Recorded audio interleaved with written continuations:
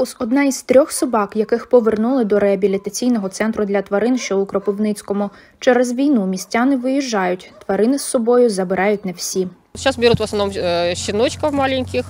Э, Несколько собак нам вернули. Пока на время просят, люди уезжают э, на какой-то месяц. Ну, мы не знаем, насколько это все затянется, когда они вернутся. Пока собаки их у нас. Одного так привели, э, там на второго дали э, крупы немножко. Аби нагодувати 330 собак і 20 котів, щодня треба щонайменше два мішки крупи та три мішки корму. Наразі з продуктами допомагають небайдужі містяни.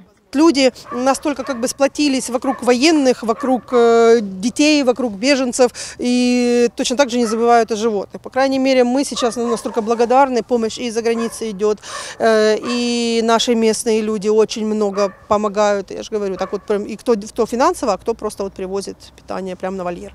Зараз у центрі готують за два десятки собак, аби відправити їх у притулки за кордоном. Ну, Чтобы освобождать места, скажем, для тех, которые вновь прибывших, э, планируем часть животных отправить вот за границу, готовы приюты там забирать животных э, вот, с Украины. Но сейчас э, пока в приоритете животные с горячих точек, ну, мы ждем своей очереди. Перед відправкою тваринам роблять усі необхідні вакцини. Идет распределение по разным, скажем, странам и городам Европы, поэтому, чтобы животное не терялось там где-то что-то, обязательно чип- чипирование обязательно.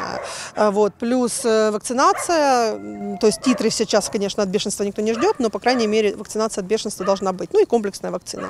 Тож реабілітаційний центр для тварин потребує фінансової допомоги. Просять містян долучатися і до прибирання вольєрів. Завжди чекають волонтерів, які могли б вигуляти тварин. Анна Гончаренко, Сергій Баранюк, телевізійні новини СІБІН.